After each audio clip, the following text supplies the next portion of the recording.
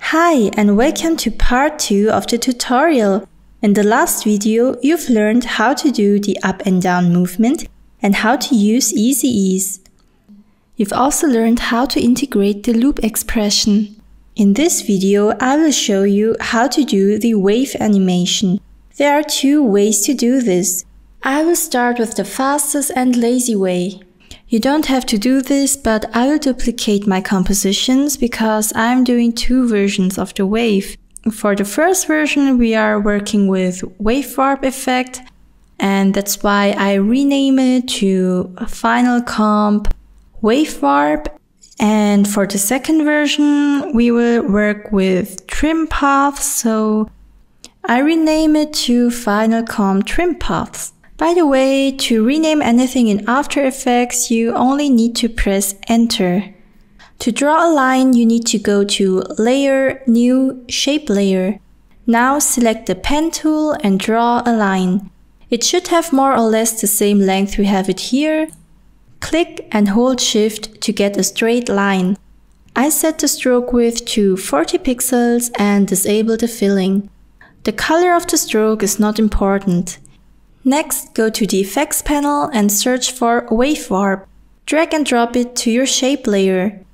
Now we can change a few settings to make our wave looks like our template. I set the wave height to 20 and the wave width 200. Now if you play it, the animation is way too fast, so let's change the wave speed to 0.5. It's much better now. Now we need to hide or delete the wave clipping mask layer because we don't need it anymore. Then move your shape layer right above the texture layer.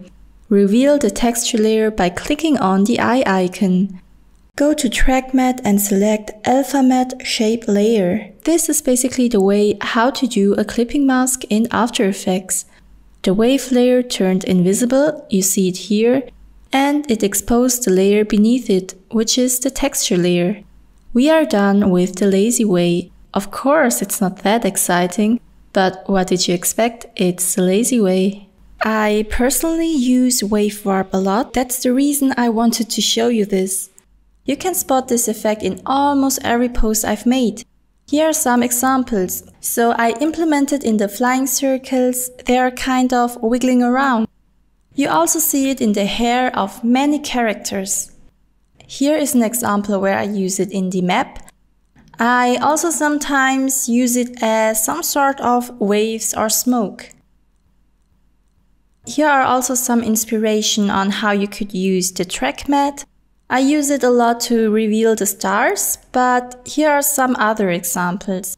For this, I combine the animation of the position with track matte. So the movement of the Polaroid picture falling down is with the animation of the position. And at the same time, the track matte reveals the picture coming out of the camera. For this example, I use everything we've learned so far. I use wave warp effect for the animation of the sand. And to keep everything in the hourglass frame, I use track matte. Um, you also see the sand falling down here. That was made with the animation of the position. That was some inspiration for you. Let's continue with the wave animation without the wave warp effect. I honestly also didn't know how to do this. I followed a tutorial on YouTube long time ago. I will link this video in the description box below in case you want to have a better explanation on how it works. I close this panel and switch to the Final Comp Trim Paths. Remember, I duplicate the composition, so that's why I have two compositions here. Simply double click on the composition to open the panel. And in this version, we are going to work with trim paths. Okay, we will also going to start with a new shape layer. Go to Layer, New, Shape Layer. Now I'm going to draw again a line but this time the line needs to be as wide as our canvas size. I start here, hold shift to create a straight line and drag it to the other side. Make sure the filled option is disabled and adjust the stroke width. For me, 40 pixels is just fine. Now expand the shape layer. I will also rename this layer to wave animation. by hitting on Enter. Click on the arrow next to Add, select Zigzag, expand the zigzag option and change the size to your needs. I will go for 30 and 8 ridges per segment.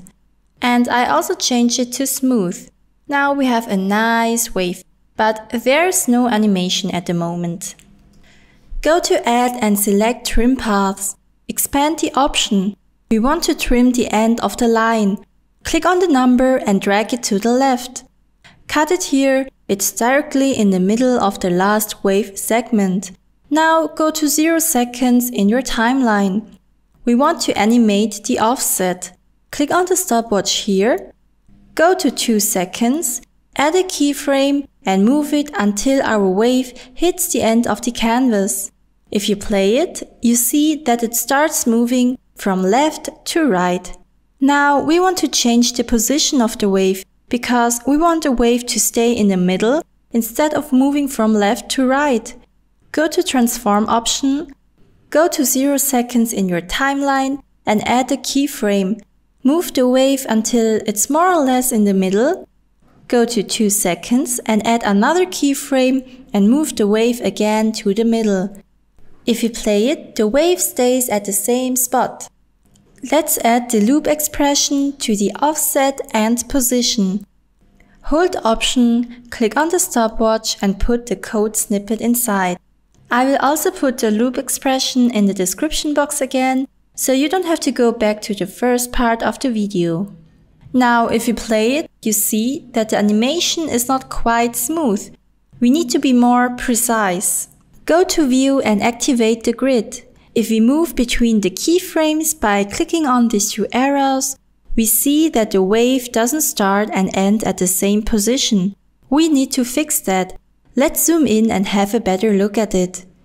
I'm at 0 seconds in my timeline and I try to hit the end of the wave with this line. Go to 2 seconds and do the same. Just play with the position until it's perfect. If you're happy with the settings, we can finally hide our grid, as well as our guidance layer, or just delete it because we don't need it anymore.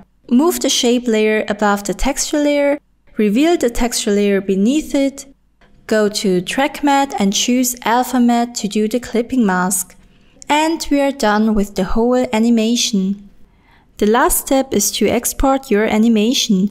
Go to File, Export and go to Media Encoder Queue. It will open a new software. You should also have it if you've downloaded After Effects. I use H.264. This codec is for MP4. If you don't have it set right now, you need to click on the blue link and change the format to H.264. We don't really have to change anything here, so hit OK. If you want to change the location and the name of the output file, click here, change it and save. Press the play button and you're done with exporting. Congratulations, you've made it through.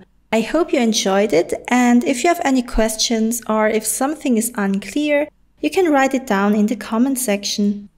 If you want to see more inspiration, you are also welcome to visit my Instagram profile. Thanks for watching and see you next time. Bye bye.